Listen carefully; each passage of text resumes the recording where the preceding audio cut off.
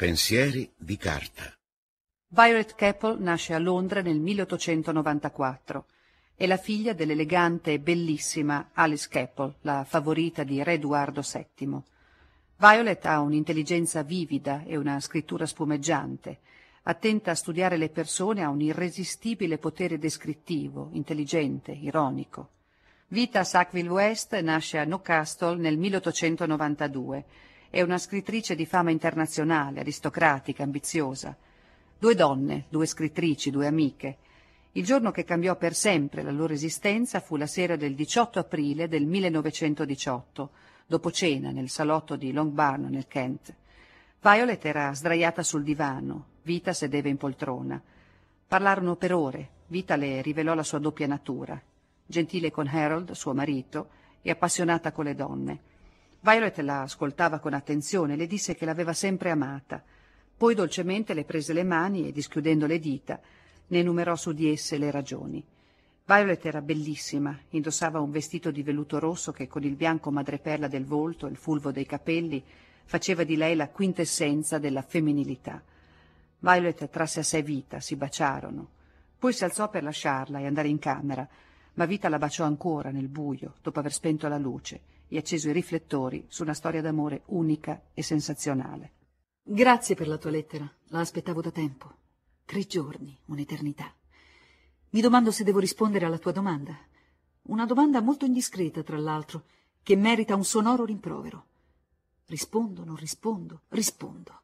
Oh, al diavolo la discrezione. Ti amo, vita, perché ho dovuto lottare tantissimo per te. Ti amo perché non ti arrenderai mai. Amo in te ciò che possiedo anch'io, l'immaginazione, il talento per le lingue, il buon gusto, l'intuito e un mucchio di altre cose. Ti amo, vita, perché ho visto la tua anima.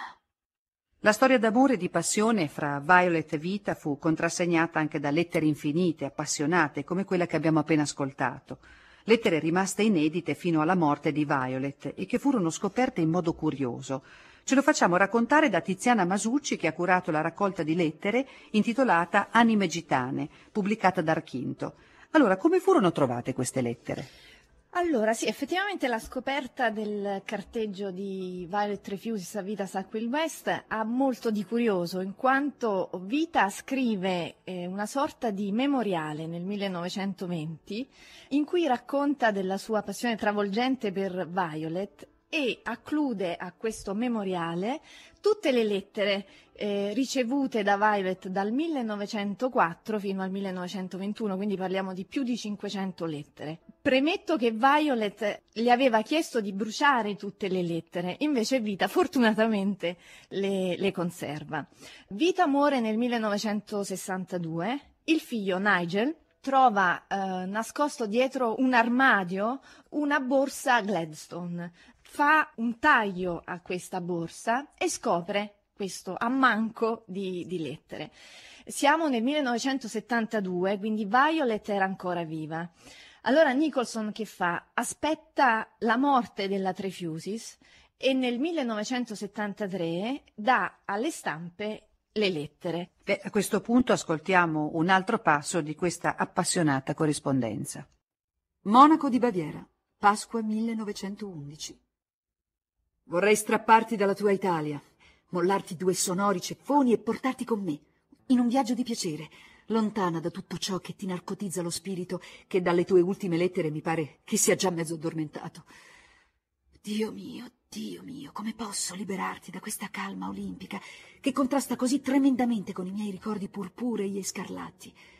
Andremo in Spagna, tu mia allieva, io tuo Cicerone.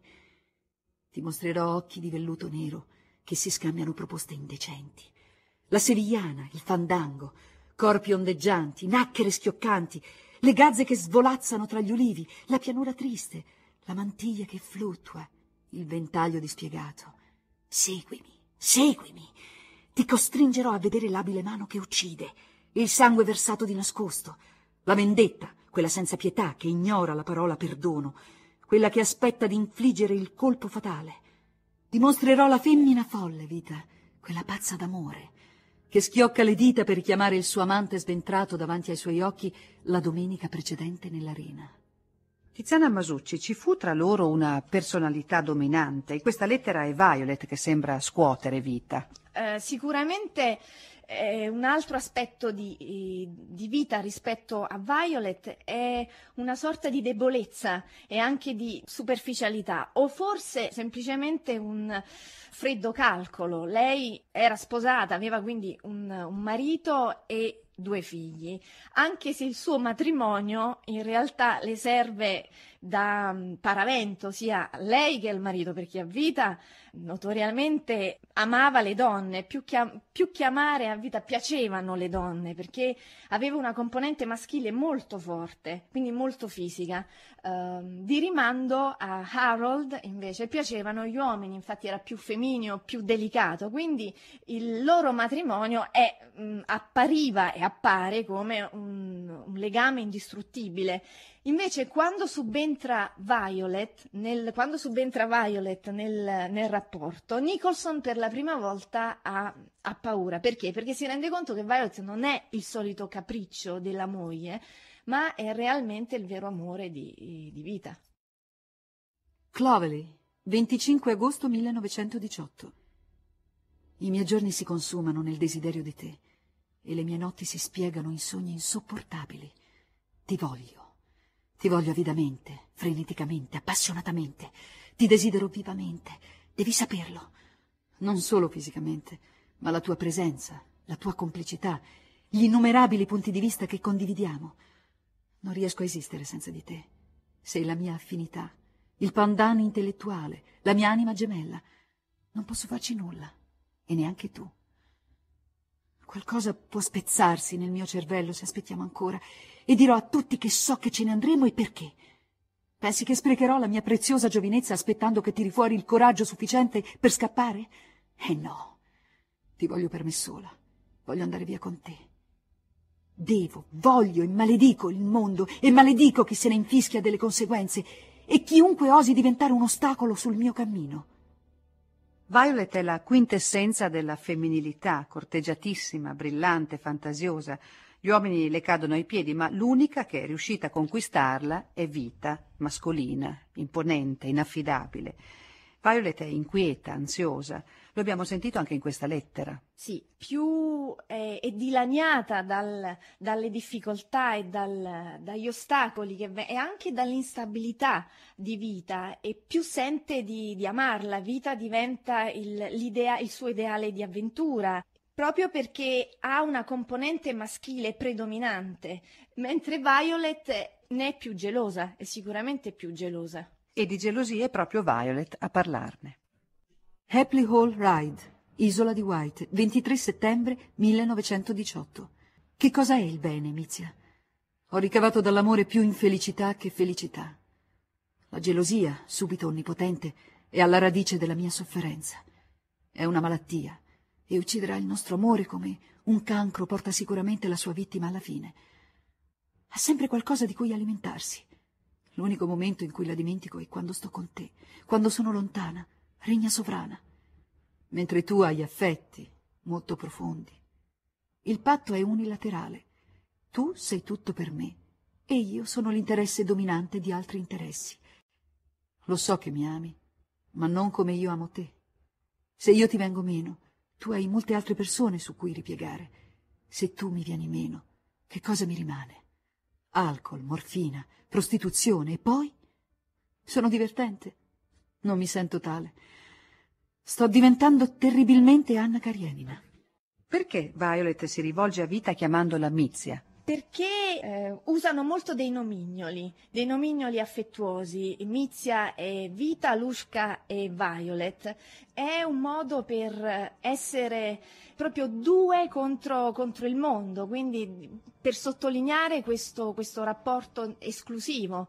Violet scopre un dizionario inglese Zincali e da lì eh, decide, coinvolge ecco, oh, Vita proponendole di usare proprio questi termini eh, zingareschi come, come, linguaggio segreto, perché poi sostanzialmente, ed ecco perché si intitola anche Anime Gitane la, la raccolta di lettere, Violet si sentiva una zingara, ma uh, zingara gypsy nel senso di libertà, libera appunto da vincoli, da convenzioni, molto idealista sostanzialmente. Avevano anche un linguaggio segreto. Sì, c'è un verbo tipico proprio della loro storia, è ciapescar, che, che cosa vuol dire? scappare, o anche per dirsi ti amo, um, si scrivevano te camelo tutti, ma ce ne sono tantissimi, sono anche, fanno molta tenerezza, perché magari nell'ambito di una lettera molto esplicita, per non dire ti amo, c'era questo te camelo tutti, quindi molto molto tenero.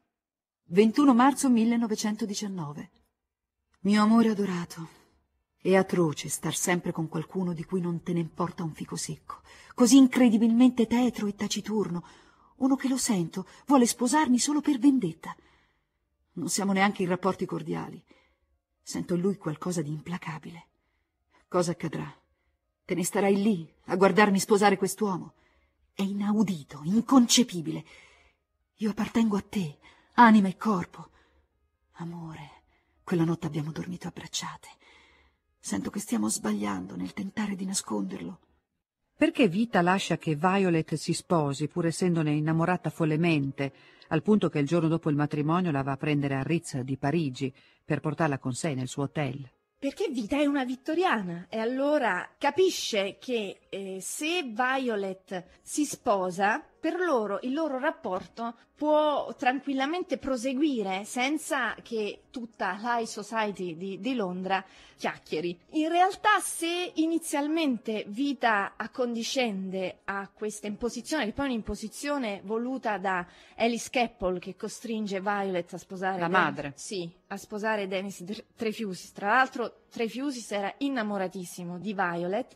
Subito dopo si pente. Si pente perché, ecco, le viene fuori questa possessività. E il giorno dopo il matrimonio eh, li aspetta al Ritz, lei prenota in una pensioncina, prende Violet dal Ritz, la, la rapisce. La, ra- sì, la rapisce, è proprio un vero e proprio rapimento e la porta in questo, in questo, albergo e la fa sua ripetutamente perché in questo modo deve essere lei la prima e quindi è una questione di possesso, di carnalità e in questo modo vi, anche se Violet ha promesso che non sarà mai non andrà mai a letto con, con Dennis, eh, Vita vuole la riprova. 1919. Ventiliche. Ho parlato di Parigi per tutto il pomeriggio. Parigi, quando arrivammo per la prima volta. La mia mente freme al ricordo. La notte in cui andammo al Palais Royal e quella in cui andammo alla Fame e le Pantin sono state le più felici della mia vita. Ero semplicemente ubriaca di gioia. Eravamo bohemienne, con solo quanto basta per pagare la nostra cena. Dio mio, ero felice. Pensavo che non sarebbe mai finita. Ero follemente, insaziabilmente innamorata di te. Mizia, Mizia, come ti adoravo. La nostra vita, la nostra vita d'artiste, non può essere finita. Non può. Sono i migliori anni della tua vita, questi. Presto avrai trent'anni, giovanile ma non più giovane, poi trentotto, quaranta, la mezza età. Cosa avrai da mostrare della tua passata giovinezza? La bellezza che appassisce, non più esuberante e magnetica, ma dura, austera e senza espressione? Tu, che avresti potuto essere, che tuttora potresti essere una delle più grandi figure del nostro secolo, una George Sand, una Caterina di Russia, un'Elena di Troia, Saffo. Ascolta la mia voce, Mizia. Per una volta non penso solo a noi, tutte le sublimi e magnifiche figure della storia ti tendono le mani. Ecco, un rapporto di amore ma anche di arte. Sì, Violet aveva un'intelligenza viva, era molto vivace intellettualmente, leggeva tantissimo, parlava quattro lingue perfettamente, aveva capito che il punto debole di vita era proprio il suo voler diventare una grande scrittrice e quindi pur essendo superiore come scrittura a vita, eh, pur di non offenderla in un certo qual senso, la adulava e quindi quando hanno scritto insieme Challenge è Violet che scrive il libro, però poi lo firmerà a vita. 20 luglio 1919, la prima volta che siamo andate a Polperro. Oh, Mizia, come eravamo felici. come eravamo esultanti. Quella piccola camera di Hugh Walpole, con il mare che quasi ne lambiva le mura, le incessanti strida dei gabbiani, i libri, l'atmosfera complice, la completa libertà di ogni cosa. E io ero tua, tua. Ti chinavi su di me e mi baciavi ogni volta che ne avevi voglia. E qualche volta ci amavamo così tanto da esaurire tutte le energie, contente solo di scoprire nei nostri occhi il segreto, che segreto più non era. Mizia, la scena cambia. Ora siamo a Long Barn, fuori una soffocante notte d'estate, piena di profumi e di suoni. Improvvisamente vedo qualcuno giovane, selvaggio e bello, vestito con una pelle di leopardo che dardeggia al chiaro di luna pomellato. Oh, mio Prince of Romance. Chi era quel giovane selvaggio e bello? Quel giovane selvaggio e bello è sempre Vita Sackville West, perché eh, nel loro gioco d'amore Vita è il, il conquistador, è un po' l'eroe byroniano, quello che eh, se vogliamo, se mi si può passare un termine folcloristico, era una sciupa femmine vita, quindi questo fascino del conquistatore che le donne cadono ai, ai suoi piedi e quindi può fare, può fare qualsiasi cosa. E quindi di volta in volta è Julian, è Dimitri, è, è Calisto, ma soprattutto è il, è il grande conquistatore, Vita è il grande conquistatore. Settembre 1919 a Londra non sono andata da Lodge, ma per lavarmi i capelli. Stupida. Questo weekend probabilmente non lo vedrò. Abbiamo litigato ancora. Oh, darling, aspetto lunedì così tanto. Non lo immagini neanche. Per favore, non fare la pazza che rovina tutto. Se davvero lo vuoi sapere, Elle e il suo amico mi annoiano a morte. Ora sto seduta con loro. Vorrei quasi che vedessero cosa sto scrivendo. Elle ha un brutto maglione di lana che ha indossato per farmi dispetto e lo fa sembrare molto disordinato. È abbastanza per provocare un litigio. Stanno parlando di politica. Elle è spaventoso con quei suoi capelli rizzati alle punte. Ho tanta voglia di dargli uno schiaffo. Tesoro, le tue supposizioni su di me sono sbagliate. Ma sono d'accordo e ti pungolo. Plus je vis, moins je rassemble au reste de l'humanité. Chi era mio padre? Un fauno, senza dubbio. Un fauno che ha fatto una mésalliance con una strega. Sul serio.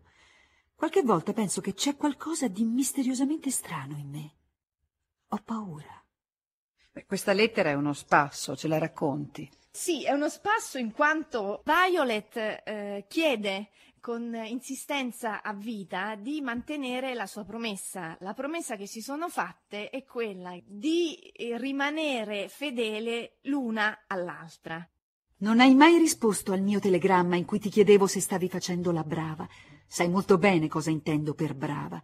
Se mi accorgo che ti stai comportando diversamente, mi comporterò di conseguenza. Non manterrò la promessa fatta. Scrivimi, tesoro mio e assicurami che il tuo comportamento è rimasto immutato nei confronti di Harold e almeno che ci rivedremo presto. Sono terribilmente infelice, Mizia. Ti amo più di quanto ti abbia mai amata in tutta la mia vita. Perché non ti firmi più la tua Mizia? Hai rimesso la fede. Oh, Mizia, ti prego non farlo. Oggi spero tanto di ricevere un tuo telegramma rassicurante. Tutto è cenere senza di te. L'altra notte ho pensato per un momento che Dennis avesse intenzione di strangolarmi. Gli ho detto che sarei andata a dormire presto perché avevo mal di testa. Invece mi sono messa a letto a scriverti. Dopo aver notato la luce nella mia stanza, ha fatto capolino e ha esclamato Mi stai di nuovo ingannando. Avevi detto che saresti andata a dormire. L'ho rimproverato, ricordandogli che non erano affari suoi se andassi o no a dormire. Livido in volto ha urlato Ti odio, ti odio, mi vendicherò di tutti i tuoi inganni, ti renderò infelice come tu hai fatto con me, ti rovinerò la vita come tu hai rovinato la mia. Sarà meglio se le lettere sui nostri progetti le scrivi in italiano, lingua che non conosce, nel caso riuscisse a strapparmene qualcuna da mano. Così scrive Violet a vita il 20 febbraio del 1920. In seguito si trasferì a Parigi con Dennis. La loro fu un'affettuosa seppur distaccata convivenza che durò fino alla morte di lui, avvenuta per tubercolosi nel 1929. Proprio in quell'anno fu pubblicato il primo dei romanzi di Violet. Ne seguirono undici, alcuni scritti solo in francese. Vita ed Harold nel 1930 acquistarono le rovine di un castello nel Kent, creando i famosi giardini. A Parigi Violet divenne una personalità di spicco nell'entourage artistico internazionale. Durante la Seconda Guerra Mondiale, tornata a Londra per scappare da una Francia occupata dai nazisti, le ceneri del grande amore continuavano ad ardere e si sarebbero potute riaccendere con passione nel dicembre del 1940, come testimoniano le lettere scritte da Vita Violet in quel tempo. C'è qualcosa di indistruttibile tra noi, qualcosa che ci appartiene e che non dividiamo con nessun altro. Hai detto che il nostro amore è durato tre mesi, invece durerà per sempre. Cyril Connolly dedicò a Violet un libro che lei adorava, The Unquiet Grave, Violet sottolineò questo passo con una matita rossa. Amiamo una volta sola. Solo per quella volta abbiamo tutto ciò che ci serve per amare. Potremmo avere l'impressione di essere innamorati altre volte. Uno dei primi giorni di settembre ci sembrerà caldo come uno di giugno, sebbene esso sia più corto di sei ore. Il modo in cui quel primo grande amore si delinea dipende dagli schemi delle nostre vite.